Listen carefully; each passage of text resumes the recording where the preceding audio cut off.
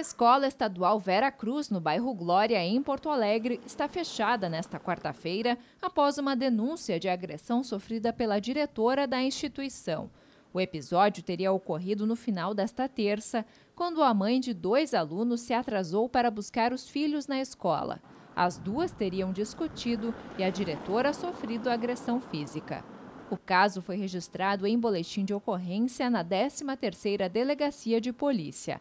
Nesta manhã, cartazes anunciavam que a escola estaria fechada. As famílias dos alunos foram avisadas previamente que não haveria aula.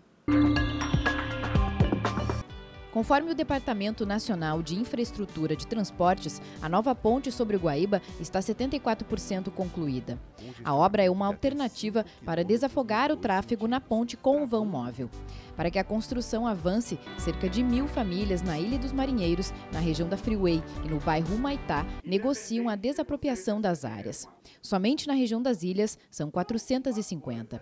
142 famílias já firmaram acordo. Nesta quarta-feira, cerca de 50 participam das audiências na Justiça Federal. Até o momento, 200 audiências já foram realizadas. Tá? Nós temos previsão de que aconteçam mais audiências ainda na, no mês de dezembro, mas nós queremos concluir a Ilha Grande dos Marinheiros é, ainda este ano. As famílias elas têm a opção de fazer a escolha de um imóvel residencial nessa faixa de 152 a 178 mil reais. Caso a família tenha algum estabelecimento comercial junto que foi cadastrado na época do levantamento, ela tem direito a pleitear uma indenização que vai ser levantada né, pelo DENIT e paga esse valor para a família.